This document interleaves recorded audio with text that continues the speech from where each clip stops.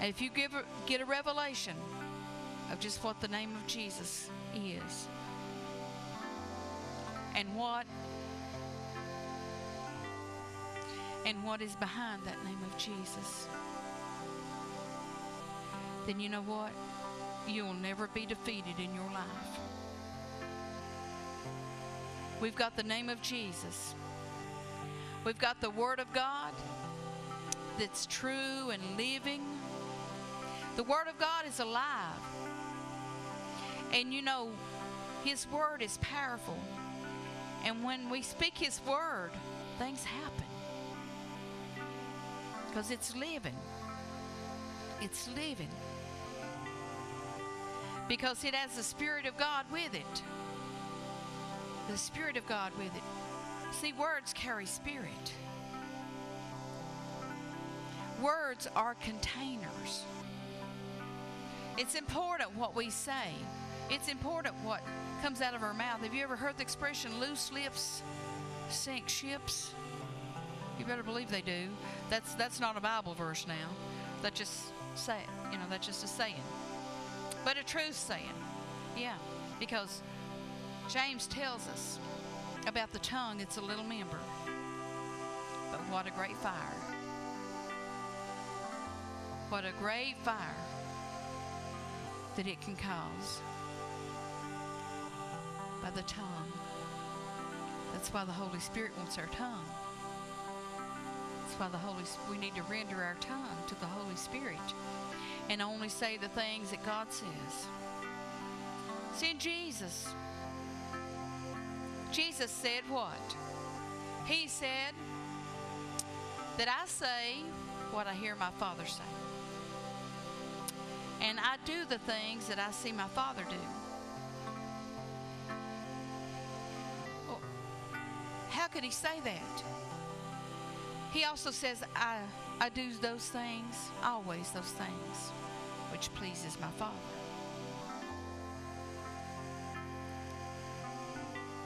And I think it's First John says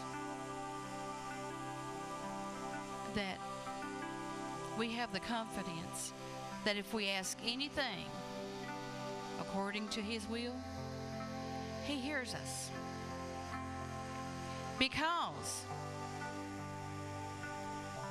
we keep his commandments and do those things that are pleasing in his sight. That's how Jesus could say that. You say, well, Jesus did that because he was God. No, he laid down his kingly position in heaven.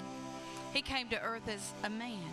He operated in this earth as a man anointed by the Holy Ghost. And that's how he worked.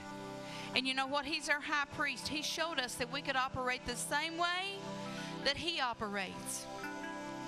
So look at the life of Jesus. He said, The works I do, you shall do, and greater works than these shall you do, because I go unto my Father. Praise God. So you know what? If we listen, if we say only the things that we hear our Father say, and if we do those things which we see our Father do, and if we keep His commandments and do those things that are pleasing in His sight, we'll be doing the works of Jesus. Praise God. We can do those works. Yes, we can. A lot of people says now you can't be like Jesus. Oh yes, you can. Jesus is the prime example. He got he set the example for us. He said, "The works I do, you shall do. You shall do. You." Praise God. Whosoever will. Whosoever will. I'm glad he included me in that. He included you too. If you'll take him at his word, if you'll believe him, if you'll receive him, praise God. Then you know what? If you'll live like Jesus did, operate like he did, you can have the results that Jesus had. You can cast out devils. Praise God. You can cast out devils. You can pick up serpents. And I don't mean a bunch of reptiles. Praise God. Hallelujah. You can lay hands on the sick and see them recover. And the Bible says if we drink any deadly thing, and I'm not talking about going out and drinking, literally drinking arsenic or some kind of poison. I'm talking about if you hear any anything that's contrary to God, if you know God, if you know God's word, if you've got the Spirit of God living in you, it won't hurt you. It won't affect you.